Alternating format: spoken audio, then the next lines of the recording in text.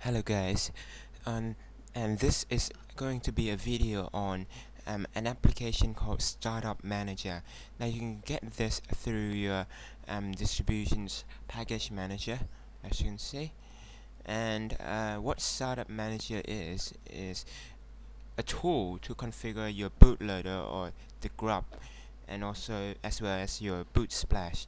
Now those are all the things that um, happens um, during before you boot into your operating system. So uh, when you start up, you have um, a bootloader to um, boot um, a choice, a menu to um, boot into the operating system you want, and then you um, load the boot splash, which is which is the loading screen while um, the system is booting up, and and this application is very customizable. It allows you con to configure everything.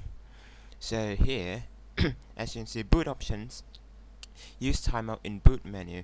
Now, um, for Fedora, um, the default is 3 seconds. For Ubuntu, the default is like 10 seconds. So you can actually trim this um, timeout timeout sec um, time um, so that it boots up into the operating system faster without you having to you know click enter or something every time you boot up and you can always um, um, uncheck this and um, there will be no timeout and so that you can um, always choose which operating system to go into.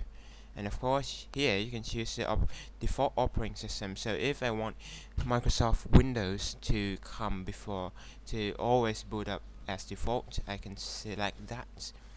And I can select the resolution for this the display and the color depth. But um I don't really mess with this anyway. You can select to show bootloader menu.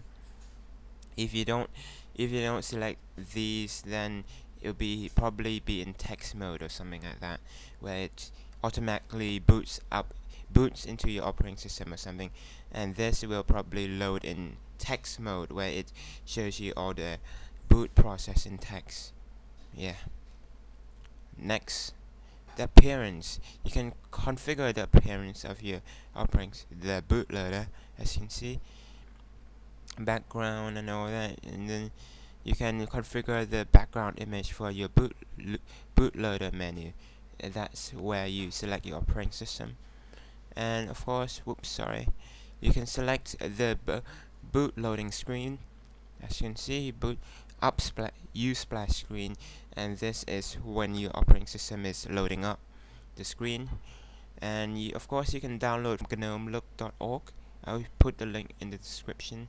And of course you can add new skins to, so that um, you don't get bored or anything like that. So it's very customizable you can even security or protect your bootloader by going to you know bootload password protect the bootloader. So um, people won't be able to um, run your operating system unless they have a password uh, yes as you can see so here so you can just put your password in or something like that. And then advanced you don't really need to mess with anything like this unless you are in need of um, high configuration advanced configuration. So here you can limit the um, the number of kernels in the boot menu. You can uh, here you can you know create boot option for mem tests. You can create boot option for recovery mode. You can automatically update default boot option or something like that. Right. and you can also create rescue floppy disks or restore original settings. Yeah and that's probably it really on um, the configuration you would get for startup manager. And that's really it. And yeah if you've got any problems with um, boot settings um, startup manager is the application to look forward to. Thanks for watching. Please comment rate and subscribe. Thanks again